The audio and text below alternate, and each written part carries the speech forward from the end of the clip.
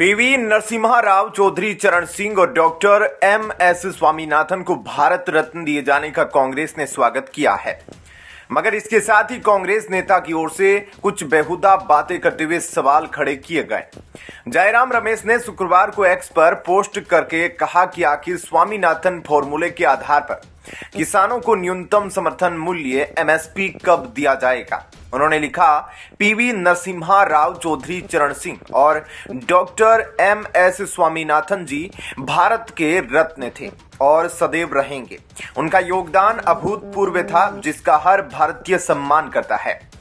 जयराम रमेश ने कहा, डॉक्टर स्वामीनाथन फॉर्मूले के आधार पर किसानों को न्यूनतम समर्थन मूल्य का कानूनी दर्जा दिए जाने पर मोदी सरकार चुप है। प्रधानमंत्री मोदी की हट धर्मिता के कारण 700 किसान आंदोलन के दौरान शहीद हुए, मगर सरकार ने किसानों के साथ वादा खिलाफी की। आज भी किसान दिल्ली कूच के लिए तैयार बैठे हैं, मगर सरकार कोई सुनवाई नहीं कर रही। उन्होंने कहा कि भारत जोड़ो न्याय यात्रा में किसानों को न्याय दिलाया जाना एक मुख्य उद्देश्य है। किसान न्याय के लिए हमारी मांग है कि स्वामीनाथन फॉर्मूले के आधार पर किसान को एमएसपी देने की गारंटी कानून दिया जाए। वहीं पूर्व प्रधानमंत्री चौधरी चरण सिंह जी और स्वामीनाथन जी को सही मायनों में श्रद्धांजलि होगी। कांग्रेस संसदीय दल की प्रमुख सोनिया गांधी ने नरसिम्हा राव को भारत रत्न दिए जाने की घोषणा का स्वागत किया। इस बारे में पूछे जाने पर सोनिया गांधी ने संसद परिसर में, संवाददाताओं से कहा आई वेलकम इट मैं इसका स्वागत करती हूँ। वहीं नरसिम्हा राव की बेटी एवं भारत राष्ट्र समिति पीआरएस से विधान परिषद सदस्य वाणी देवी ने देश के सर्वोच्च नागरिक सम्मान।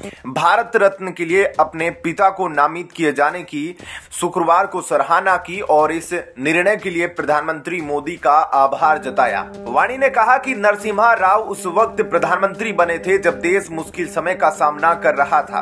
उन्होंने सुधारों को लागू किया जिसकी पूरे विश्व ने सराहना की। उन्होंने कहा, दलगत भावना से ऊपर उठकर राव ने योगदान को मान्यता देना और भारत रत्न प्रदान करना हमारे प्रधानमंत्री मोदी के अच्छे मूल्यों को दर्शाता है। कांग्रेस नेता नरसिम्हा राव ने प्रधानमंत्री रहने के दौरान सुधारों की पहल की और अर्थव्यवस्था से लेकर विदेश मामलों जैसे क्षेत्रों में समस्याओं का स्थायी समाधान तलाशा। वाणी ने कहा, भारत रत्न सर्वोच्च नागरिक सम्मान है। हालाँकि, इसमें कुछ देर हुई, लेकिन ठीक है।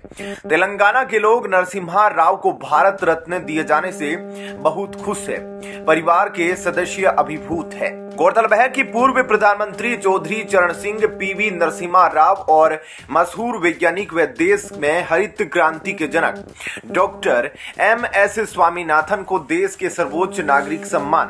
भारत रत्न मरणोपरांत से सम्मानित किया जाएगा। प्रधानमंत्री नरेंद्र मोदी ने शुक्रवार को खुद एक्स पर पोस्ट के ज़रिए यह जानकारी दी। ऐसे में क्या कहना है आपका इस पर कमेंट सेक्शन में? अपनी राय ज़रूर दीजिएगा। जय हिंद, जय भारत।